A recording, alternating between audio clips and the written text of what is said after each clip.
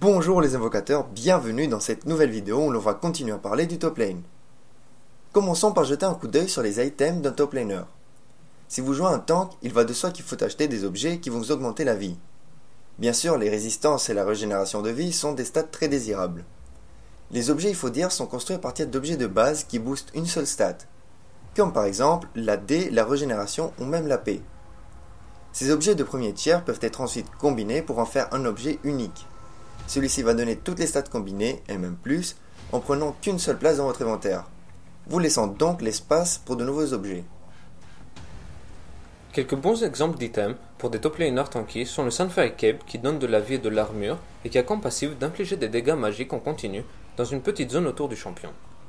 Le Summon est un second objet qui, comme le Sunfire Cape, donne de l'armure et des points de vie, mais en revanche, il a une passive différente qui ralentit le mouvement et la vitesse d'attaque de l'ennemi qui vous attaque. De plus, il procure une active qui ralentit tous les ennemis dans une zone autour de votre champion. Ce slow dure 2 secondes plus un pourcentage de vos résistances.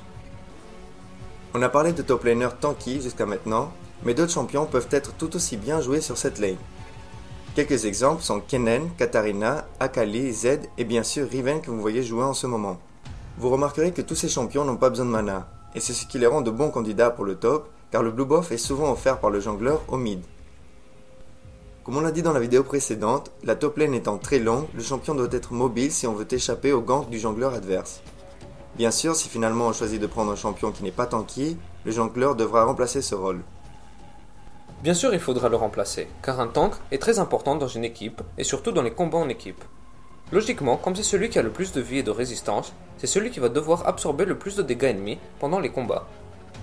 Il va initier les combats et va essayer non seulement de prendre le maximum de dégâts pendant que ses alliés s'occupent du backlane, qui consiste des principales sources de dégâts, mais aussi utiliser leur cooldown sur lui. Les habilités qui auraient été fatales sur un AD sont donc gâchées sur un tank qui a toutes les résistances nécessaires pour survivre.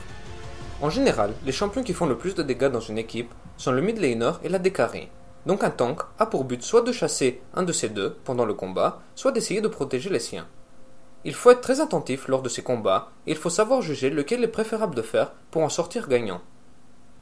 Voilà, on a fait le tour du top lane. Dans la prochaine vidéo, on va voir l'AD carry. On vous attend donc le dimanche prochain pour découvrir ce nouveau rôle. Et bien sûr, n'oubliez pas, si vous avez aimé la vidéo, likez et si vous avez vraiment aimé, abonnez-vous.